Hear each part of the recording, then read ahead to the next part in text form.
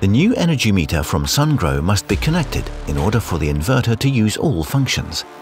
The meter is mounted on a DIN rail 35mm and then connected to the phase and neutral voltage cable. Connect the voltage cable at the bottom in the green connector, where it is marked with L1, L2 and L3. Make sure that the neutral cable, blue, is taken from the same point as the phase 123 cables. Make sure that phase 123 grid voltage are connected in the same order to the meter respecting the color code. Take out the three current transformers from the box and connect the blue-white cable and white cable to the pins 1 to 9. Take care of the color of the CT label. The white cable needs to be plugged into the first pin, blue-white cable in the second pin. If you also have the second set of CTs, then connect them to the pins 31 to 39 in the same way.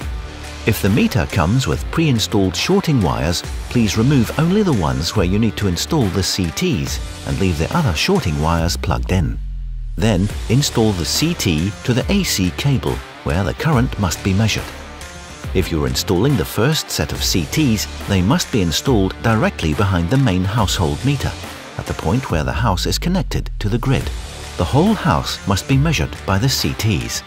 The arrows of the CTs must point into the direction of the house load. That means they should point from grid to house. Double check that the CT for phase 1, 2, 3 are connected on the right phase and to the right pins on the meter. Sungrow provides two sizes of CT compatible with the meter. 100 amps is the default option, but 250 amps can also be purchased separately and is installed in the same way. At the bottom of the inverter, above the communication connector, you will find a table with information about which cable has to be plugged into which port. The smart meter is connected from the meter port A to the inverter port A2 and from the meter port B to the inverter port B2. No settings in iSolarCloud are required. Once the meter is correctly connected to the three-phase hybrid inverter, it will be automatically recognized.